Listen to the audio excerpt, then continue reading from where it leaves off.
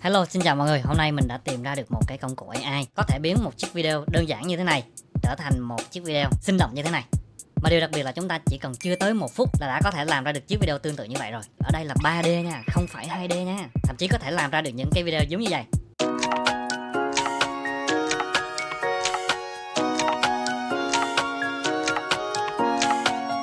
Quá là kinh khủng và vi diệu đúng không anh em? Mà điều đặc biệt là bây giờ nó đang miễn phí thì anh em hãy tranh thủ tận dụng để mà test nghịch cái trò này. Vì khả năng là sắp tới khi mà nó đã quá hot rồi thì nó sẽ thu phí giống y như là Midjourney đó nha mọi người nha. Vì có ai rảnh mà làm hàng free cho anh em mình xài đâu, thì người ta phải thu phí thì người ta mới có tiền mà ăn chứ.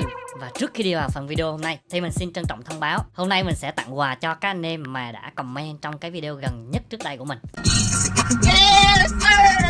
rồi, đây là cái video gần nhất của mình đúng không? Bây giờ mình sẽ chọn 10 bạn ngẫu nhiên để trao một cái phần quà là một cái tài khoản chat GPT Không có giá gì đâu nhưng mà ở bên ngoài mình thấy người ta hỗ trợ mở đến 100 ngàn theo tài khoản này. Rồi bạn đầu tiên là cái gì mà quần đùi ba nội? Các bạn thấy đúng tên của mình thì vào comment riêng cho mình nha. Rồi bạn tiếp theo. Dương Viễn Tiếp theo. Vương Lâm số 4 Linh Thọ Anh Phan Nghĩa nha số 6 Dương Nguyễn Ui sau này trùng tên mình nè? Số 7 Số 8 Trời toàn tên gì không à? Số 9 Bé Sứa nè Số 10 Ok các bạn này vào trong group liên hệ với Zalo của mình để mình gửi tặng cho các bạn mỗi người một phần quà nha. Của ít lòng nhiều, vui là chính, mà không vui thì thôi. Ok đêm Đầu tiên mình sẽ giới thiệu cho mọi người một cái công cụ rất là hay của ngày hôm nay Cũng chính là cái công cụ tiêu điểm của ngày hôm nay chính là Picalas Cái đặc điểm của công cụ này là nó cho phép mọi người có thể là biến một tấm hình hay là biến một cái mô tả văn bản trở thành một cái video có chuyển động mọi người nha và mình thấy cái điều này nó rất là hay hay hơn rất nhiều so với cái việc là chỉ tạo ra được một cái tấm hình. Trước đây là chúng ta tạo ra được một tấm hình nhưng mà bây giờ á, là chúng ta có thể là tạo ra được một chiếc video rất xịn sò. Và cái sơ đồ my note này mình sẽ để ở bên dưới cái phần mô tả mọi người có thể là click vào để là hệ thống hóa kiến thức trong cái video mà mình chia sẻ đây nha. Rồi đầu tiên thì chúng ta sẽ truy cập vào pika.a này. Thì ở ngay chỗ phần này mọi người sẽ bấm vào join beta cho mình. Ở đây nếu như mà anh em nào mà chưa có cái Discord thì mọi người hãy là tải về và tạo cho mình một cái tài khoản Discord nha và mình sẽ bấm vào tham gia Pika này. Ở đây là do mình có tài khoản Discord sẵn rồi cho nên là mình đăng nhập một phát là nó vào ngay lập tức. Nhưng mà nếu như anh chị em nhà mình mà chưa có tài khoản Discord thì khi mọi người vào á, nó sẽ yêu cầu mọi người là nhập những cái thông tin đăng nhập như là email ờ, đăng ký ngày tháng năm sinh gì đó thì mọi người cứ đăng ký theo là được. Cái đó khá là đơn giản thôi mình không cần bậy đây nha. Sau khi đăng ký xong thì mọi người sẽ thấy có một cái phần gọi là welcome. Đó thì ở đây nó sẽ có những cái phần hướng dẫn cho người mới bắt đầu này những cái thông báo này rồi những cái luật lệ này. Đó và có những cái hướng dẫn về viết câu lệ này và bên dưới này nó có danh sách rất là nhiều những cái phòng. Thì chúng ta có thể là vào phòng nào cũng được nha. Thì ở đây là những cái video mà người ta đã tạo ra trước đó rồi. Wow, cái phong cách gì nó cũng có thể vẽ được mọi người ha. Rồi bây giờ mình sẽ hướng dẫn cho mọi người cái cách chúng ta sử dụng Picalast để chuyển mô tả thành video như thế nào nhé Để chuyển văn bản thành video thì mình sẽ vào cái phần chat này. Gõ dấu gạch chéo Sau đó chọn Create. Đây Và cái từ from này nó có nghĩa là câu lệnh mô tả mọi người nha. Rồi và ở đây mình sẽ gõ một cái câu lệnh đơn giản như sau. Mình nhỏ giọng với những đám mây hồng Bãi biển cùng với những cây dừa Nước biển xanh các miệng đang nhấp nhô xô vào bờ Mình sẽ dùng Google dịch để dịch nó sang thành tiếng Anh này. Rồi bây giờ mình sẽ dán qua bên này nha. Đấy, mình sẽ enter này. Thì, thì có rất là nhiều người đang sử dụng. Chúng ta cần phải chờ trong một khoảng thời gian để cho nó trả về kết quả cho chúng ta nhé. A few moments later. đây đó một lát sau thì nó đã trả về cái kết quả cho chúng ta. Đó bình minh của mình nè đó rồi sau đó thì có những đám mây hồng nè rồi có những cái hàng dừa. Đó với cái bãi biển xanh. Nếu như mà mình muốn nó thay đổi lại thì mình có thể là bấm nút này để cho nó thay đổi cái kết quả. Rồi mình thử thử thêm một câu lệnh nữa là bãi biển xanh cát trắng hải âu bay lượn đó. Rồi, mình sẽ ra lại lại nha. Ok, mình chờ thêm xíu nữa. Rồi, cái này cái này đẹp hơn này. đó, cái này chân thật hơn nè anh em ơi. À. Đó. cái này thì nó làm được khoảng tầm 3 giây. Và hiện tại thì Pika nó đã có cái tính năng là chúng ta có thể là tự tạo phòng chat riêng để chat với Pika, chứ không cần phải là trang trúc ở trên cái những cái phòng này. Để tránh mất thời gian thì mình sẽ bấm vào đây. Sau đó thì mình sẽ bấm là start. Để bắt đầu. Ở đây chúng ta có thể là làm việc thoải mái mà không cần phải chờ đợi giống như ban nãy nữa rồi, và ở đây nó có một vài cái nguyên tắc để mọi người ra lệnh cho con Pika nó được chuẩn hơn bao giờ hết nha. Thứ nhất là chúng ta cần phải mô tả có bối cảnh và có chuyển động nữa nha. Thứ hai là trong cái từ ngữ phải thể hiện cái phong cách nghệ thuật. Ví dụ như chúng ta muốn vẽ về cái phong cách anime nè, hoặc là theo phong cách là điện ảnh nè, cinematic, hay là 3D hay là 2D thì chúng ta phải mô tả cái phong cách rõ ràng ra như vậy. Tiếp theo là cái chất lượng và cái tỷ lệ khung hình mong muốn. Tại vì tùy theo cái chất lượng mong muốn của mọi người, đó thì mọi người sẽ là sử dụng cái chất lượng, ví dụ như 1080 pixel hay là 4K pixel nếu như muốn nhẹ thì chỉ cần 1080 thôi. Đó còn nếu như mà muốn có chất lượng tốt hơn bao giờ hết á, thì có thể là sử dụng chất lượng 2K 4K còn ví dụ như tỷ lệ khung hình á mọi người thấy là cái khung hình hiện tại mà mọi người đang thấy đây á nó là khung hình là 16.9 đúng không? Tức là bề ngang là 16 còn chiều dọc là 9 còn cái tỷ lệ khung hình ngược lại là 9.16 là khung hình đứng nè. Cái khung hình mà mọi người hay đăng những cái video ngắn ở trên tiktok hay là trên những cái nền tảng short video đó. Hoặc là cái khung hình là tỷ lệ 11 tức là hình vuông đó mọi người. Đó, thì mình cần phải mô tả rõ ra để cho nó export ra. Còn không, mặc định là nó sẽ là 16.9 nha. Ví dụ như trường hợp này mình sẽ minh họa là một chiếc máy bay đang bay trên bầu trời đi. Một chiếc máy bay đang bay trên bầu trời nhiều mây hồng thì có phải là có bối cảnh và có chuyển động. Bối cảnh và chuyển động là chiếc máy bay nó đang bay trên bầu trời màu hồng. Đó phải mô tả rõ ràng ra như vậy. Đây ví dụ chỗ này mình sẽ viết là chiến binh samurai đang cầm thanh katana đứng giữa chiến trường đẫm máu phong cách anime. Chưa chất lượng 1080 khung hình 16 trên 9 bây giờ mình sẽ copy cái này. Rồi bây giờ mình sẽ bảo Pika nó làm nha. Rồi ok. Rồi để xem lại thế nào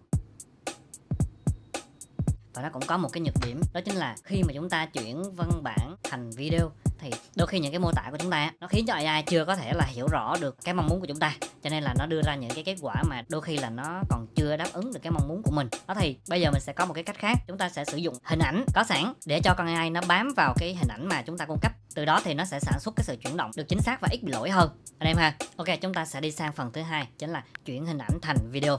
Đầu tiên á, chúng ta sẽ gõ nè. Đó create được chưa? Sau đó chúng ta sẽ bấm vào cộng thêm nè và chúng ta sẽ bấm vào image để chúng ta tải cái hình mà chúng ta muốn nó làm chủ đạo lên. Đó rồi. Và đây mình đã chuẩn bị sẵn cái câu lệnh là mây đang bay lá đang đung đưa trong gió và có lá cây rơi xuống. Đó mình lấy cái phần tiếng anh này. Ok rồi chúng ta cùng nhau xem thành phẩm nha. Đó lá đã bay rồi nè đó. Còn mây đâu? Mây bay đâu? Mây bay sơ sơ vậy thôi đó hả? Ok rồi. Tạm thời thì mình cứ tải cái này xuống trước đã và mọi người lưu ý nè, trong cái video của chúng ta. Nếu như nó có những cái thành phần nào ở trong này, ví dụ như cái bụi hoa, hay là cái khung cửa sổ, hay là cái ống khói, thì ví dụ như tất cả những cái chi tiết này, nếu chúng ta mô tả càng chi tiết, ví dụ như ống khói nó có khói bay lên, đó, hay là cái cửa nó mở ra, mở vào, đó, hay là cái bụi hoa này nó có con thỏ nó chạy ngang qua, đó, chẳng hạn như vậy, và lá cây nó xào xạc như thế nào đó, thì mình mô tả càng rõ thì cái bức tranh của chúng ta càng sinh động, mọi người nha. Và đối với cái tính năng tuyệt vời này của Pika, thì chúng ta hoàn toàn có thể là chuyển những cái hình ảnh khô khan, có thể trở nên chuyển động mượt mà. Chúng ta có thể là chuyển những cái truyện tranh thành phim ảnh ngắn từ một cái bức hình đang tĩnh trở thành một cái bức hình động thì nó rất là đặc biệt, đúng không em? Để từ đó mọi người có thể là sáng tạo ra những cái series, câu chuyện, làm những cái video kể chuyện, vân vân và may may. Để ví dụ minh họa thì mình sẽ làm thử một cái cho mọi người xem nha đầu tiên, để có được kịch bản, thì chúng ta cần phải dùng đến một cái công cụ quá quen thuộc. Và nếu tới bây giờ mà anh em còn chưa biết cái công cụ này thì chắc anh em đúng là người tối cổ thật rồi. Đó chính là ChatGPT. Và nếu như anh em nào mà chưa có cái tài khoản ChatGPT, thì mọi người hãy vào cái group Zalo ở trong cái MyNote mà mình có để, hoặc là bên dưới cái phần mô tả đó. Thì mọi người mở ngay cho mình một cái tài khoản ChatGPT để nó hỗ trợ cho công việc của mọi người nha. Chứ đến thời điểm bây giờ mà còn chưa có trợ lý bằng AI này hỗ trợ cho công việc thì đúng là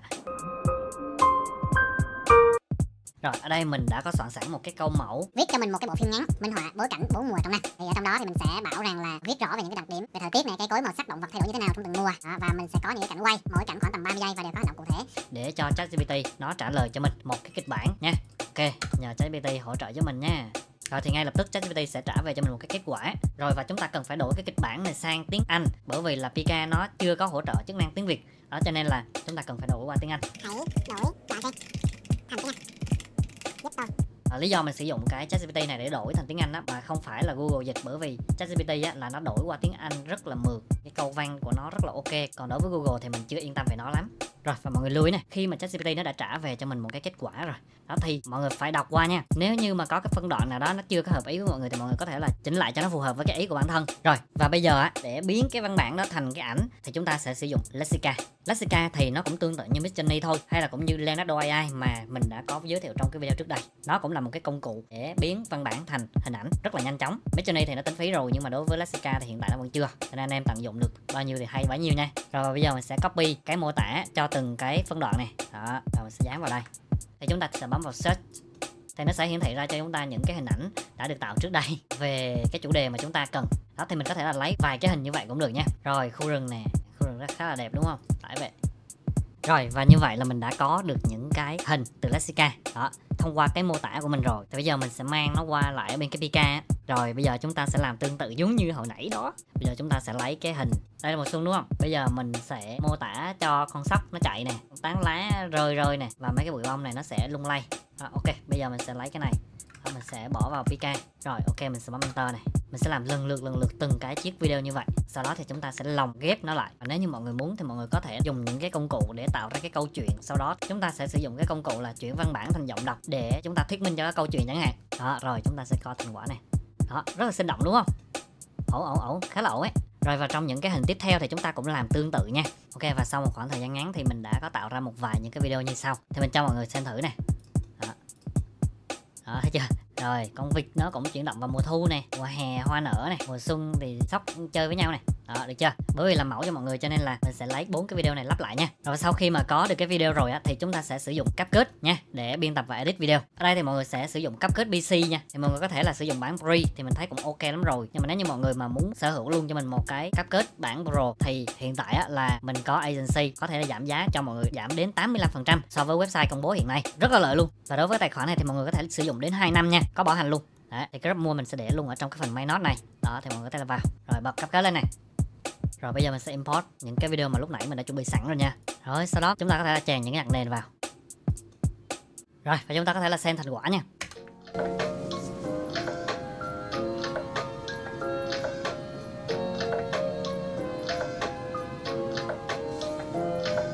Ok rất là tuyệt vời, đúng không mọi người? Ngoài ra mọi người có thể là sử dụng ChatGPT để là tạo ra một cái câu chuyện. Sau đó chúng ta sẽ tạo ra những cái đoạn script mô tả kể chuyện. Sau đó thì chúng ta sẽ chuyển cái văn bản thành giọng đọc Để cho cái video của chúng ta nó có hiệu ứng kể chuyện.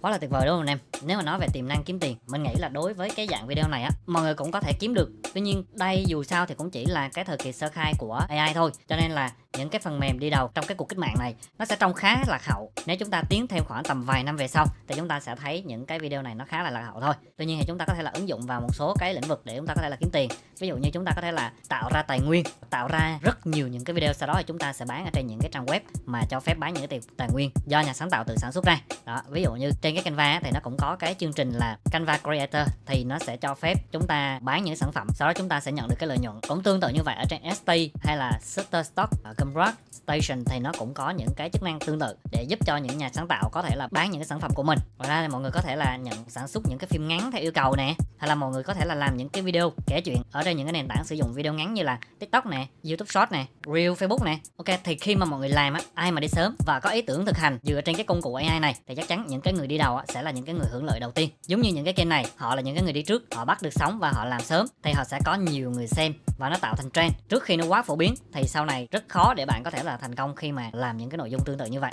Và thực tế thì chúng ta đang ở cái giai đoạn và thời kỳ đầu tiên của AI. Đó cho nên là nếu như mọi người đang ngồi ở đây và xem những cái video hoặc là mọi người đang áp dụng AI vào trong những cái thời điểm hiện tại thì mọi người chính là những cái người tiên phong đi ở trong cái cách mạng này đó thì mình tin rằng à, sau một vài năm nữa là AI nó sẽ rất là mạnh và đối với những ai mà ăn nằm với nó trong cái khoảng thời gian này trở về sau và ứng dụng nó vào trong cuộc sống cũng như là công việc hay là cái việc kiếm tiền của chúng ta, đó thì mình tin chắc là nó sẽ giúp cho mọi người tăng được cái hiệu suất công việc của mọi người lên rất rất nhiều. Cũng như là nó sẽ mở ra rất nhiều những cái con đường mà trước đây chưa hề có cái tiền lệ và mình nghĩ rằng khả năng rất cao là những cái người mà không tìm hiểu hay là không có chịu thích nghi sớm với nó, thì khả năng rất cao là sẽ bị tụt hậu về sau. Thời gian càng trôi đi AI càng phát triển mà chúng ta không cập nhật thì chắc chắn là sẽ bị bỏ lùi về sau. Giống như cái việc là những cái tầng lớp người đi trước đây á, khi smartphone nó ra đời không kịp cập nhật đó, thì đã bị bỏ lại đằng sau. Và bây giờ cầm cái điện thoại thì không biết sử dụng như thế nào. Và mình cũng hy vọng rằng kênh của mình cũng là một cái kênh cập nhật những cái xu hướng mới nhất về AI cũng như là cái tính ứng dụng của nó ở trong cái đời sống cũng như là cái việc kiếm tiền. Thì mọi người hãy follow mình để chúng ta có thể là đồng hóa cái trend AI này càng sớm càng tốt anh em ha, chúng ta hãy biến AI trở thành cái công cụ để kiếm tiền, chứ đừng để AI nó trở thành một cái trở ngại và nó biến chúng ta thành những cái người lạc hậu trong tương lai anh em nha. Ok, và mình có một vài cái thông tin liên hệ thì mọi người hãy join vào cũng như là tham gia cộng đồng Facebook, Zalo, Telegram để theo dõi những cái thông tin mới nhất của mình về sau nha và nếu như anh em thấy cái video này hay và hữu ích thì mọi người hãy comment ở bên dưới cái phần bình luận. Thì trong cái video sắp tới thì mình sẽ có thêm những cái phần quà để tặng cho những anh em, may mắn. Và quan trọng hơn nữa là những cái thắc mắc hay là những cái mong muốn của mọi người thì mình sẽ tập trung giải đáp ở bên dưới cái phần comment nha. Và một lần nữa, nếu như mọi người thấy video này hay và hữu ích thì mọi người hãy nhấn nút like và subscribe kênh để không bỏ lỡ những cái video liên quan mà mình sẽ sản xuất trong thời gian sắp tới nha. Ok, xin chào và hẹn gặp lại các bạn ở những cái video lần sau.